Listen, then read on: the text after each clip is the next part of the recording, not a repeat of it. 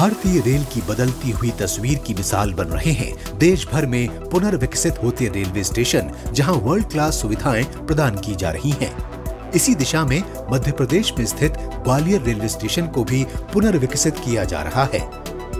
Gwalior station का पुनर्विकास कुल पाँच करोड़ की प्रस्तावित लागत से किया जाएगा, जहाँ विश्व स्तरीय सुविधाएँ प्रदान की जाएँगी।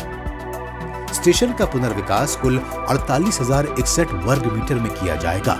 यहाँ अत्याधुनिक सुविधाओं से लैस 6,775 वर्ग मीटर में विशाल कॉन्कोर्स होगा। यात्रियों की सुविधाओं के लिए आगमन व प्रस्थान के लिए अलग अलग ब्लॉक होंगे।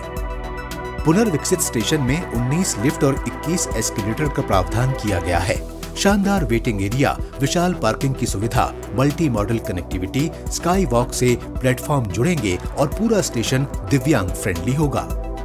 अत्याधुनिक सुविधाओं से युक्त होने वाले स्टेशन के पुनर्विकास में विकास के साथ साथ स्थानीय विरासत का भी ध्यान रखा जाएगा, जिसके लिए स्टेशन के भवन को स्थानीय कला और संस्कृति से हाईलाइट किया जाएगा, जो मुख्य आकर्षण का केंद्र होगा।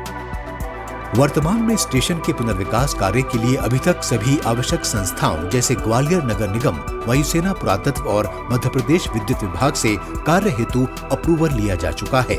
वहीं रेजिडेंशियल कॉम्प्लेक्स तथा कार्यालय भवन का निर्माण प्रारंभ हो चुका है। पर्यटन के दृष्टिकोण से महत्वपूर्ण ग्वालियर शहर का ये स्टेशन पुनर्विकसित होने के बाद यात्रियों का सफ़र तो सुगम बनाएगा ही, साथ ही इस क्षेत्र में विकास को नई गति मिलेगी।